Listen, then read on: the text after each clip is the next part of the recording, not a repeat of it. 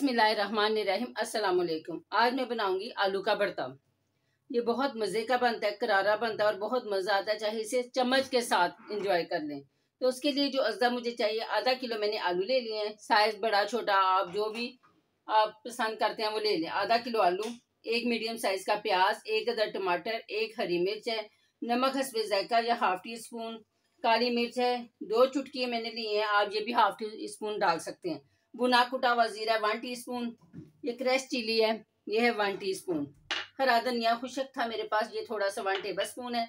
Oil लेंगे हम दो टेबल स्पून और मक्खन लेंगे दो टेबल स्पून स्टार्ट करते हैं, सबसे पहले हम चूल्हे की तरफ़ चलेंगे। चूल्हे के ऊपर मैंने इस तरह का स्टैंड रख लिया, आप बगैर स्टैंड के भी कर सकते हैं। इस तरह आप आलूओं को इसके ऊपर सेट कर लें। मैंने आलू को अच्छी तरह धो लिया ताकि मिट्टी वगैरह निकल जाए। ये मैं आपके सामने ही सेट कर रही हूँ। ये देखिए ये आलू इस तरह सेट करके हम चूल्हा कर देंगे ऑन डायरेक्ट हम इन्हें ऊपर से जला लेंगे, चारों तरफ़ से चिमटे के साथ घुमा घुमा के जब यानी कि एक साइड हो जाए डार्क तो इस तरह घुमा घुमा के मैं पलट पलट के सारा आलू रोस्ट कर लूँगी, जिस तरह हम बैंगन करते हैं। उसके बाद हम, मैं आपको दिखाऊँगी कि क्या करना है। प्याज को मैं बारीक चॉप कर लूँगी और टमाटर को भी चॉप करके और हरी मिर्च को भी काट लूँगी। बस ये काम मैं करूँगी आलू के रोस्ट होने तक।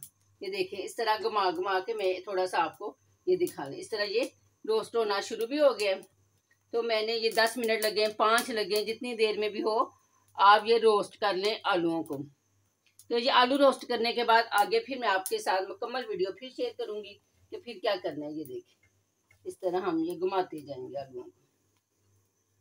बिल्कुल आपने घबराना नहीं, बहुत मज़ेदार ये भरता बनेगा। कोलों के ऊपर भी आप कर सकते हैं। चलें, अब ये रोस्ट हो रहे हैं। आलूओं को तकरीबन तीस तीस मिनट हो गए हैं इस तरह चूल्हे के ऊपर रोस्ट होते हुए। इसी तरह घुमाते फिराते मैंने इनको हर तरफ़ से गोल्डन कर लिया, ये देखिए काला कर लिया, रोस्ट कर लिया।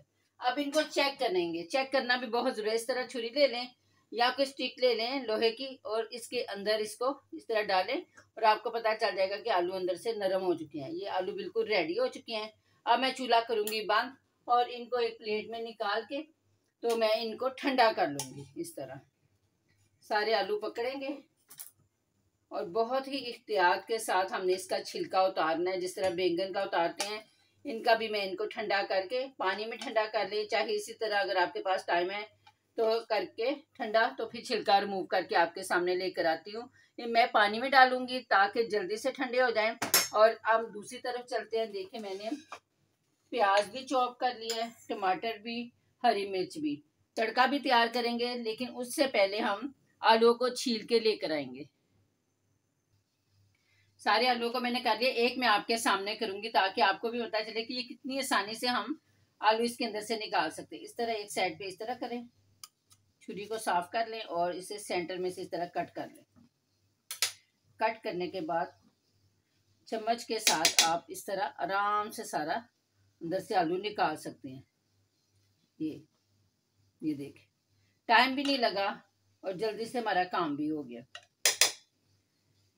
सारे मैंने निकाल लिए थे, मैंने कहा एक आपके सामने आपको अच्छी तरह समझ आ जाए कि हमने इसको किस तरह आलू में से निकालना है। और ये हम ज़ाया कर देंगे। अब मैं इसे फेंक कर हाथ धो कर आती हूँ। इनको अच्छी तरह मैश कर लें। इसमें हम डालेंगे प्याज चॉप किया हुआ।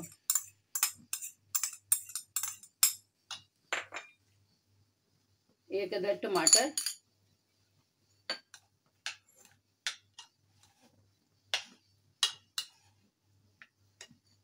नमक बुना कुटा जीरा, हरी मिर्च और काली मिर्च। ये डालेंगे।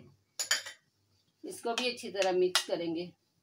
जाना नहीं अभी कहीं भी आपने। अभी ये तैयार नहीं हुआ। एक पैन को चूल्हे के ऊपर रखेंगे और चूल्हे की तरफ़ चलते हैं। चूल्हा ऑन करेंगे और पैन को मैंने चूल्हे के ऊपर रख दिया है। इसमें हम डालेंगे दो टेबल स्पून ऑयल ज़्यादा नहीं डालना, बस। दो टेबल स्पून ऑयल डाल के ऑयल को अच्छी तरह गर्म होने देना है। इतनी मज़े की खुशबू आ रही है।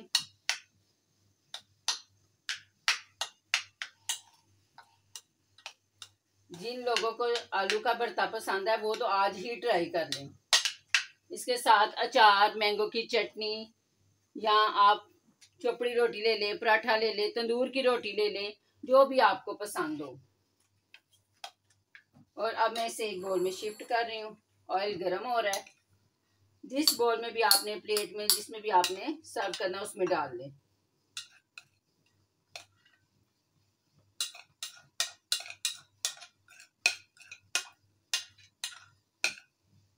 ऑयल अच्छी तरह गर्म हो गया। इसमें हमने डालना है थोड़ा सा मक्खन।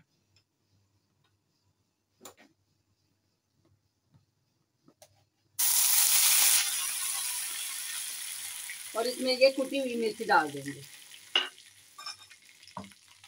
ये हमारा बहुत ही अच्छा तड़का तैयार हो गया। वापिस आ जाए बोल की तरफ़। बिस्मिल्लाह।